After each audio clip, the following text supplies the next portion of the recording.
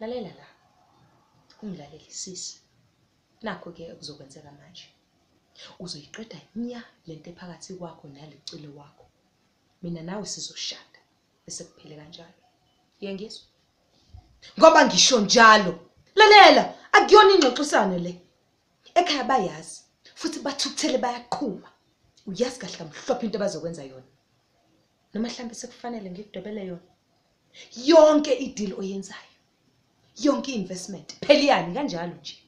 Sizokwenza isiqinisekiso sokuthi ugcina usemgaqweni ungenayo ngisho i-anda le.